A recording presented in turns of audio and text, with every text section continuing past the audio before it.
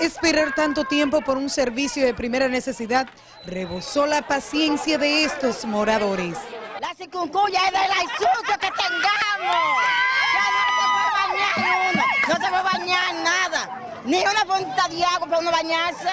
Yo estoy cansado de hablar con el supervisor general de aquí de, de, distribución de aguas y no me hace caso.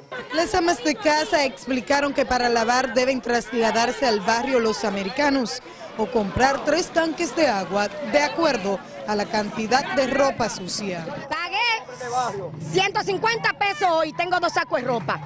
Si no mandan el agua, vamos para el tránsito de Pollo Cibao, a la buena de Dios. Que sea lo que Dios quiera, porque este relajo no lo vamos a aguantar.